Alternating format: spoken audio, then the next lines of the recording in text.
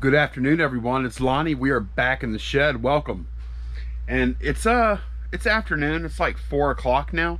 I haven't done any work until now, um, and I'm not really going to work that hard except for this video. I might actually I might pull a few orders too, just kind of get ahead a little bit. Um, I did get this in today, which is pretty cool because this is the power supply for this guy.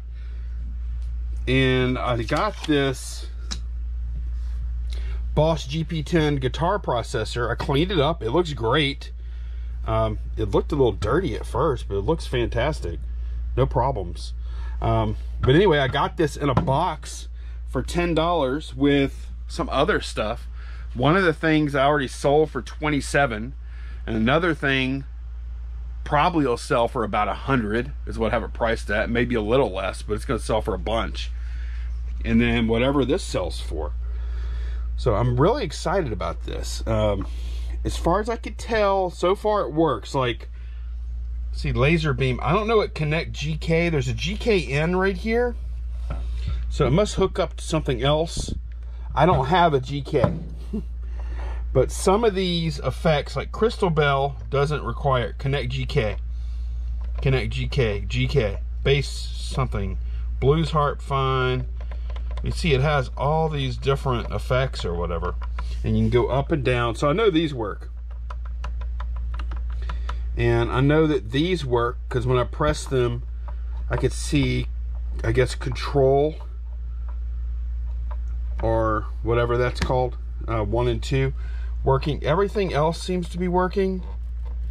But what I need to do, I want to I want to hook a guitar up, uh, bring it in. I'm just gonna bring a guitar in and then I'll bring it back out, go to the amp, and then make sure everything sounds right.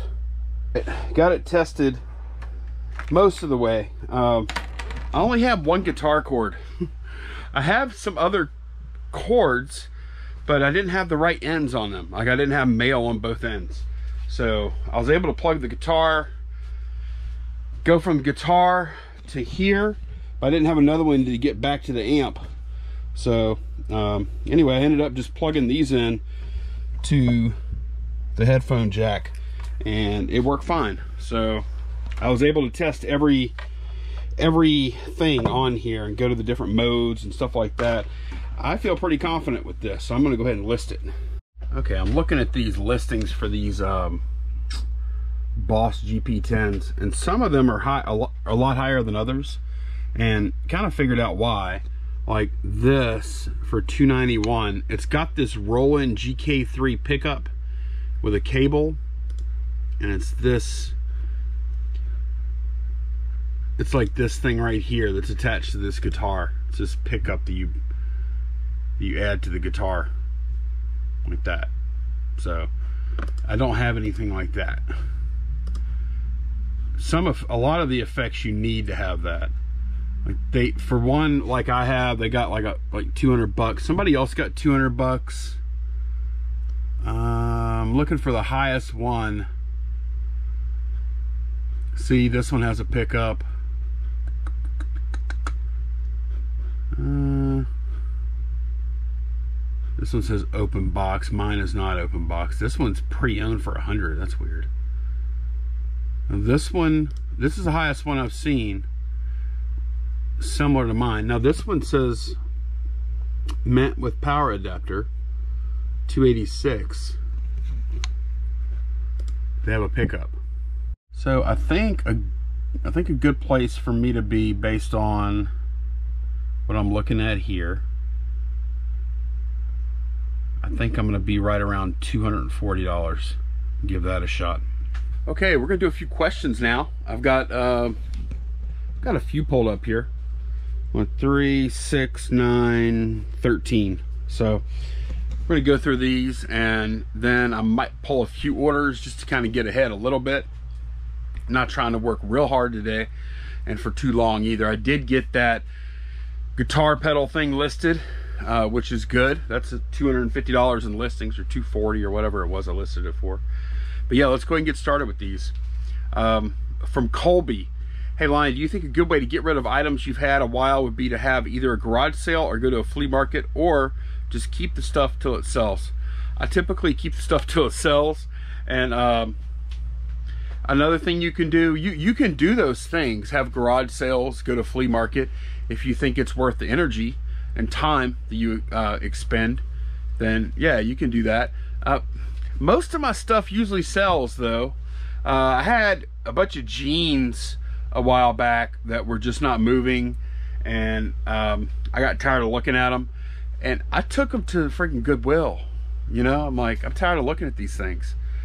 I had some listed and some not, and they were just like a burden on on my mind and my storage and everything. And I was like, you know what?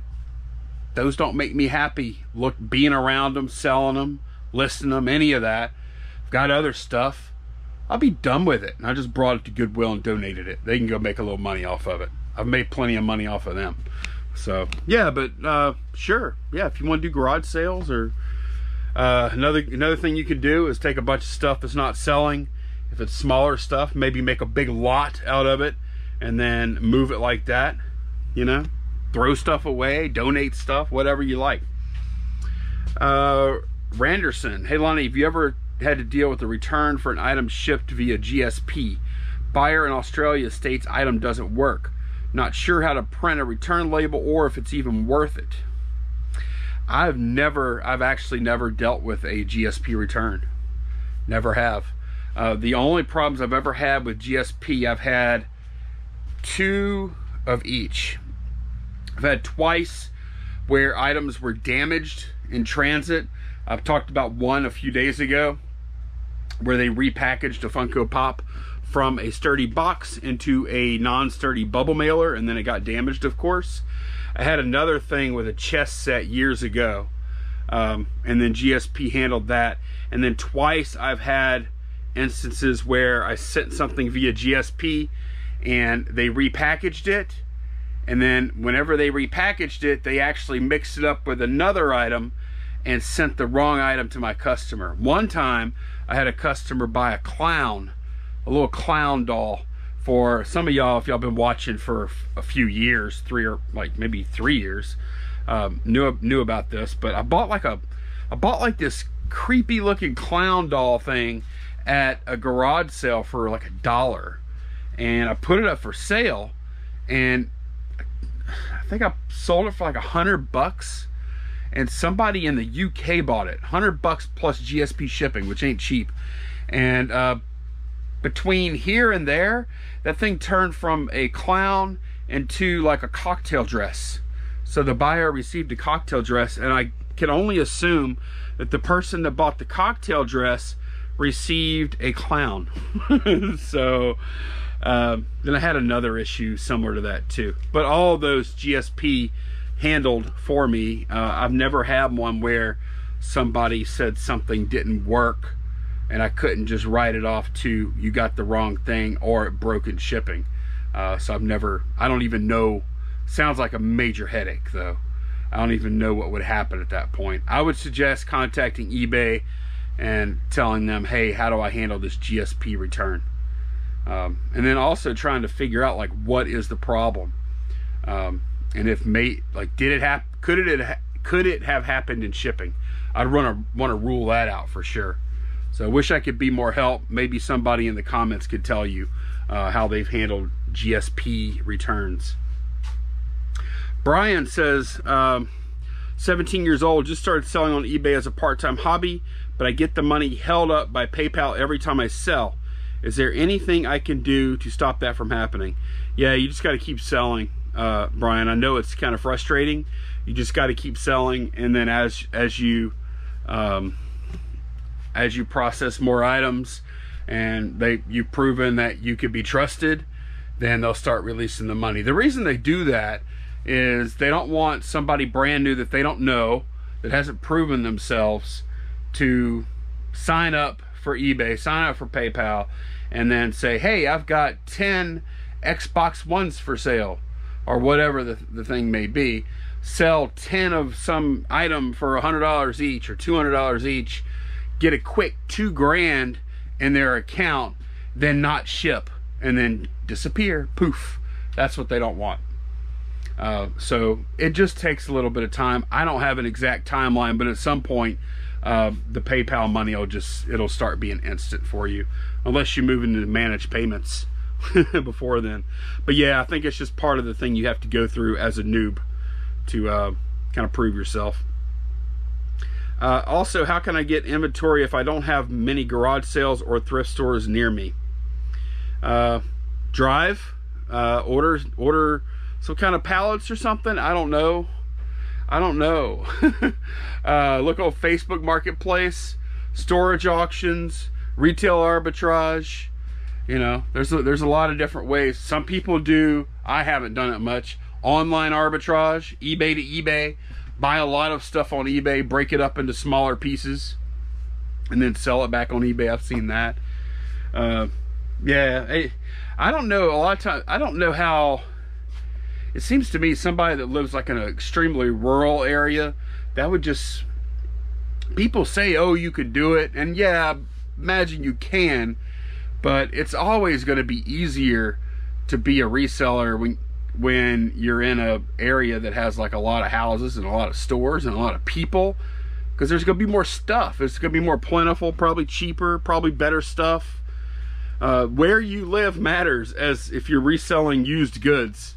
It matters a lot and you know people try and say it doesn't but uh it does. I've seen it.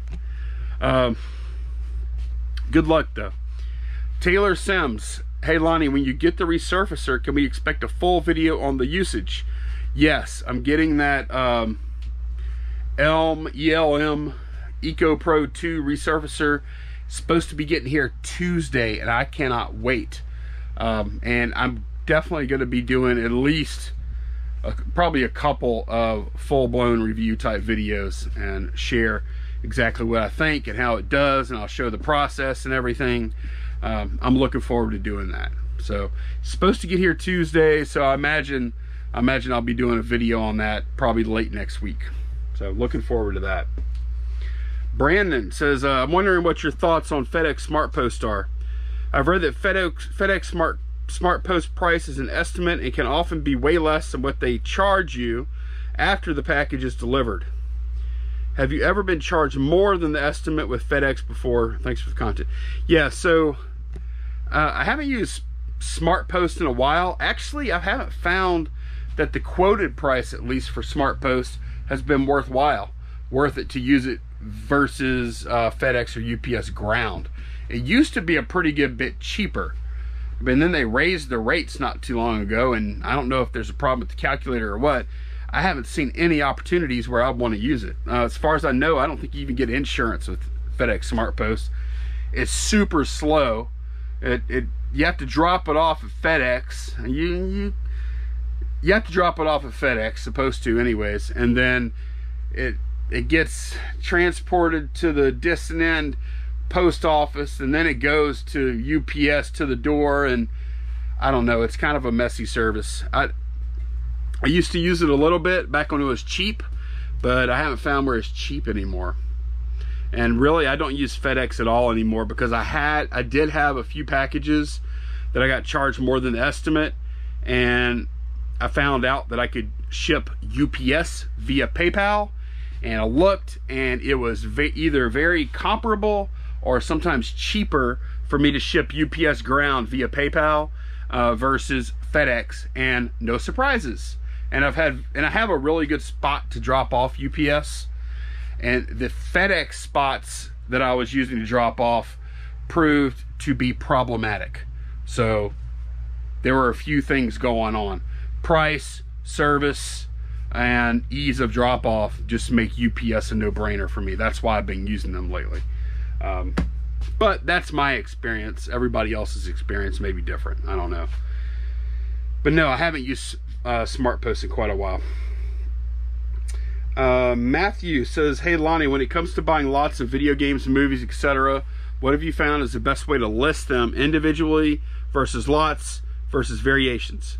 Uh, well, when it comes to video games, I, I, would come up with a number that you think makes sense. Whatever, like my number is typically eight to ten dollars plus shipping. If I can get that for a video game, I'll sell it individually you may see me see, sell even cheaper ones sometimes. Um, but a lot of times if they're $5 games, I'll lot them up, sell them all at once. Sometimes I won't. Like processing video games is so fast. Uh, you know, it's up to you. How much do you how much do you want to sell stuff for? That's the question. And then lot up the rest. Movies though, like DVD movies, it's tough to find DVD movies that are really worth selling on their own. Most DVD movies you find that I find um, they don't make sense to sell in, as anything other than lots, at least in my opinion. You might find a few gems every now and then though. Uh, and you said lots versus variations. Uh, I have sold, I did make variation listings for video games in the past. And I actually had eBay pull down the variation listing and tell me that that was like against their terms of doing variation listing. So I haven't done it again. So variation listings, they're they're really gray, really muddy on what what you can and can't do. Uh, but basically, they want you to do it for like size, color, but then they also have some people that do it for style. Um, but all the same kind of product. But then I don't think they want people doing it with video games, books, movies, things like that. They want those to be individual listings so they can make more money, I guess. Although now, um, if you're you know doing managed payments, we get all these extra listings in those exact categories. Um, maybe they won't care so much. But I have actually had a, a video game variation listing pulled before. So keep that in mind. All right, here's one from Kelly G. I'm a new reseller and I'm dealing with my first return. It was a $10 item with free returns. They submitted a return request on July 10th, the first day they received it. They have until July 24th to return it. It still shows as USPS awaiting item. I've contacted the buyer once with no response. Am I to accept I may never get the item back or is there something else I can do? Uh, I'm assuming you haven't you haven't given them their money back yet, have you? It doesn't sound like you have. I don't think you have anyways. Uh, whenever somebody opens a return with me and they don't send the item back, I stay deadly silent. I stay extremely silent and I hope they don't send it back. And if they don't, I'll close the return. Or if I forget about it, which is more likely the case, eBay will close the return for me at some point. And no, I would not, hey, if you send it back, hey, if you send it back, that's not, you know, eBay already did that. eBay already said, hey, okay, now package it up, send it back, and then you'll get your money back. That's on them to do that. So, yeah, don't bug them. don't bug them. Hope hope it goes past the date, and then you can contact eBay and get it closed. And then that's it. They're done. So, yeah, leave them alone. don't wake the bear. You know, uh, unless you really want it back for some reason. R&D Studios. Can you sell the VCR for parts only, even if you get $10 for it? You can. Um, however, I, and I talked about this yesterday. I don't mind selling stuff for $10. But if I sell something for $10, it better be a real easy pack. It better not be difficult to pack. It better not be heavy. The shipping better not be expensive on it either. Because anytime you have high shipping, you, you're taking on more liability. So you're gonna, you know, sell something for 10 or $15. You're gonna probably have $15 into the shipping. You're gonna have four $4 plus in fees. By the time you do all that, now, now you're making what, five to five to 10 bucks to ship a broken VCR and you gotta pack it well. No, it's not worth it. I don't think it's worth it. Um, in my opinion, maybe, maybe some people want to do that. I don't. I don't want to ship broken VCRs. I look at a broken VCR as just a cost of selling VCRs. That's how I handle it anyway. A certain percentage going to be bad. That's why you buy them cheap. I throw out the bad ones and I keep the good ones and sell them and make great profits. So, yeah, I don't like messing with broken VCRs typically. Maybe like a DVD recorder or something that might be worth it but a plain old Jane VCR, nah. I do sell plenty of stuff parts only, not working as is, but not VCRs. Here's a genuine question. This is from Shane F. Here's a genuine question. What is the point of having a store besides the fact of more free listings and having your fees drop by like 1%. Please help. Okay, so um, store may or may not be a good fit for you, but I think it's worth looking at for, for just about anyone if you do any kind of volume at all. If you're just selling a couple things a month, five, ten things a month, it's probably not worth it to get a store, honestly. Probably better off not paying for that and um, just getting your free listings and listing your stuff and, you know, not having the store. But uh, the one thing that one thing that I didn't like about the question, having your fees drop by like 1%. So well, let's look at that case. Okay. So if, and th this, this will change depending on how much you sell, of course, but let's say, let's say you sell, I don't know, $4,000 worth of stuff in a month, right? I, don't, I have no idea what, how much you're selling. Um, if you don't have a store, you're to pay depending on what you're selling because some things are higher. Like um, you need to look at the eBay final value fees because like music, like CDs and stuff, 12% uh, on those. But most stuff is 10%. So uh, just the final value fees, not in, and this is if the 4000 includes your shipping. Just final value fees is going to be $400, okay? If you have a basic store on up, final value fees on the $4,000 is going to be $366. So the 1% approximately actually it's 0.85% uh, difference in final value fees actually ends up being closer to 10% savings on your uh, final value fees for the month. And just this right here, like if you sell four grand, uh, just this right here will come pretty close to paying for the um, the basic store. Uh, I can't remember how much the basic store cost. Okay, yeah, basic store. Actually, at that level, if you're selling four grand a month, basic store is $22 a month if you agree to do it for a year on like on a yearly basis so uh, you know that's something to think about again if you're selling a thousand dollars a month then you need to readjust those figures you'd only be looking at like a hundred dollars and uh, 90 91 dollars for savings of about nine dollars that doesn't cover the whole cost of the store but you also have to factor in the listings that you get for free. You also can run sales. Uh, you could do vacation mode. You can have categories. So those are a few things. Um, something else to consider is that not all categories are 9.15%. A lot of categories are a lot lower. If you sell, and this is, is if you have a basic store on up, uh, most consumer electronics, and except for this stuff here, 6.15%, uh, which is a lot lower. If you sell a lot of video game consoles, 4%. Um, most video games and consoles except video games. well, that's a big except, isn't it?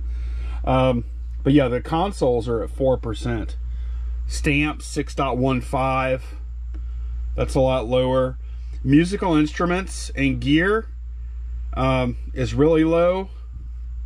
So there's some there's some big savings depending on what you sell, but most things are 9.15%, except for these exceptions. Uh, most computers, tablets, look, look you're selling compu uh, desktops and all-in-ones, laptops, computer components, drives, monitors, printers, 4% final value fee if you have a basic store on up. So take a look at all that stuff, do the math, um, and figure out if it's worth it for you. Okay, Jason Snyder says, I've been watching a lot of you sellers pack and I'm wondering, am I the only one that prints a packing slip? No, you're not. A lot of people do print packing slips.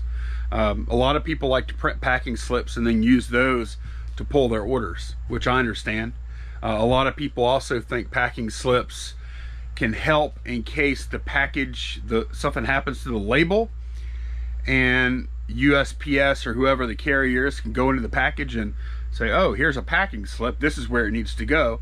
And then your package could still possibly uh, get to its destination. I don't know if that actually happens very often. I don't know how often labels get damaged or removed like that. Uh, I don't know that it's ever happened to me, but it could have, and maybe some of my lost packages, that's where what happened to them. Um, yeah, but having said all that, I don't do it, but a lot of people do. And I, I, know a lot of people feel very strongly about doing it, and a lot of people feel very strongly about not doing it. I just, I don't think it's, uh, I don't think it's worth it, and I choose not to do it. Joshua Browning, are you ever going to use your big cartel site again? I am. Uh, whenever I whenever I do actually get the box resizers in again, I'll sell them there, and maybe I might do some other kind of merch or something there. But uh, yeah, I'll definitely use it again. There's no doubt. I haven't canceled it or anything. It only cost me like 10 bucks a month, so I'm gonna keep it active. Last one, Gregory. Lonnie, quick question. I have a bunch of Star Wars figures, 3.75 inches, three three and three quarter inches. They're loose from the early 2000s. What do you think the best way to sell on eBay? Lock them up or individually? I'm dreading all the research required to find out, to figure out who is who. What are your thoughts? Hmm. I know it. I know how you feel. Uh, I've had stuff like that before that I dreaded, and if you really are dreading it, then make a make some lots. How many do you have? You said a bunch. Uh, it doesn't say how many, at least right here. Um, make a big lot of them or make several lots and throw them up at auction. No, you won't get top dollar, uh, but you'll get some amount of money and you'll be done with it and you want to put in all the work. That's what I'll do. If something you're dreading, then don't put a bunch of time into it. You know, it sounds like you don't want to do it, but you can still sell it. Like that's the good thing if if you choose to take a little less money, you can put in uh, a lot less effort and still get them sold, and probably give somebody a little better better deal. But uh, yeah, it, it's okay. You don't have to research everything. You can just put it on the table and take a picture and either come up with a price, a buy it now price, or put it up at auction. And you know, know that if you do get less money than you would have by putting in the research, well, you saved a heck of a lot of time, and everybody likes to say time is money, right? Well, there you go. You're trading off time for money in that case. And I wouldn't feel bad about it if you don't want to do it. So, uh, oh, we need we need to give this thing away. Uh, socket shelf. Okay, doing the giveaway for the socket shelf. Um, thanks for everyone who commented and watched the video and stuff. And whoever wins, I hope you like it. It's one of these guys, just like this. This one's sealed and I will ship it anywhere in the world. The winner of this thing, uh, just email me shedflips at gmail.com. Shedflips at gmail.com. Here we go. This is the video. It's already plugged in here. Filter du duplicate users, filter comments based on socket shelf. And we're going to get YouTube comments, find out how many qualifying comments we have on that video and we have 543 so you have a 1 out of 543 chance if you entered. Uh, start raffle and pick random winner. Good luck everyone. You may see your name flying by. Who is it? It is stuff smart and they said socket shelf. Simple. So stuff smart email me shedflips at gmail.com and um, i may get you to do something to prove that you are actually stuff smart and then I'll send this out to you. Once I give me your address too so in that email. So thanks a lot everyone for participating. Well I'll do some more giveaways in the future. Um, what am I gonna do now? I think I'm gonna pull a couple of orders then we'll call it a video. Okay well this is an odd occurrence. None of these I'm, I'm gonna go ahead and pull garage flips orders that I have so far. It's Saturday night uh, none of these are viewer sales. These are all organic randoms as far as I know anyways. Uh, first one is for 100 Galactic Connexions GC22. I put them on sale. $27.99 free ship. What I say that number was? GC22. So it is That's good to see these guys moving a little bit. I'm good at that price. Here it is. This sold for $27.99 free ship. And then uh, I wasn't too happy about what I paid for this at an estate sale last weekend, but I'm happy with the sales price. It's a caller ID and it is right here. Plastic drawer with the location that I had on my screen here. Sold this for $20.99 plus shipping on top. I paid five bucks for it, so I'm happy with that. It was a real easy listing. Uh, next up is a comic book. Tarot Witch of the Black Rose, number 21. T21. And I think I'm actually Yep, I was almost flipped to the exact one that I needed. It's this one right here. This sold for $19.99 plus shipping on top. And let's see. Oh, this is a cool thing here. This is a case. Um, I call it a vintage aluminum briefcase. Spy. I put like 007 spy case on there just because, you know, that's what it kind of looked like to me uh, on the Funko shelf. Just listed this the other day. And she's right here. Isn't that cool? It's really a neat looking case. I considered keeping it, but somebody's gonna enjoy that. It's got a combo lock up top. It's nice. Interior is pretty nice too. Got $39.99 plus shipping on top for that. Don't even remember where I got that. I know I wouldn't have paid more than probably $5 for it though.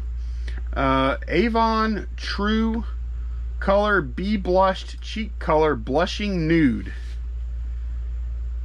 Okay. Be Blushed Blushing Nude Avon True Color. Alright, it's going to be in one of these Avon boxes. Hmm, it's not that. That's not the right shape.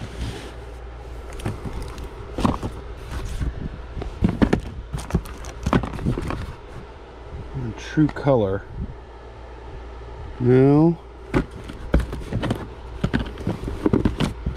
This must be it. Be blushed. Blushing nude. This is it. $5.99 plus shipping on top for this. It's probably like the cheapest Avon item I had in that box or in those boxes. And then sold a Lego set. I bought two Lego sets uh, how much? How much did I pay? I can't remember. I can't remember what I paid for these two Lego sets. But I bought them like a couple of weeks ago. I sold the first one really quick. And basically this one was going to be my profit for both. And I sold it for $30 plus shipping. This is a Lego City Advent calendar. And it's right here. Yeah, this is it right here. This sold for $29.99 plus shipping on top. The other set sold for somewhere around there. Well, how much did I pay for that? Probably some of y'all know. I want to say I paid like 20 bucks for both, 25 or something like that. I can't remember. Um, and then last thing I'm pulling, this is something I listed just yesterday. This is a reversible BDU Gore-Tex jacket. It's pretty cool. What Which one is it? It's Z5. And it had a uh, flaw on it. There was a stain on the desert camo side. This is it right here. Stain on the desert camo side that I just couldn't remove. Worked on it for, I didn't work on it long, maybe five minutes or so. So uh, I was like, you know what? I'll just price it a little lower and I'll sell it anyway. And I did. I priced it at $70 plus shipping on top uh, padded flat rate of course and I sold it and that was something that was on death rack so death rack this was actually nestled up inside of the death rack so the death rack sales are already happening. So I'm gonna get this stuff packed and edit some video and I will see y'all again soon. Thanks so much for watching. Take care guys. Bye bye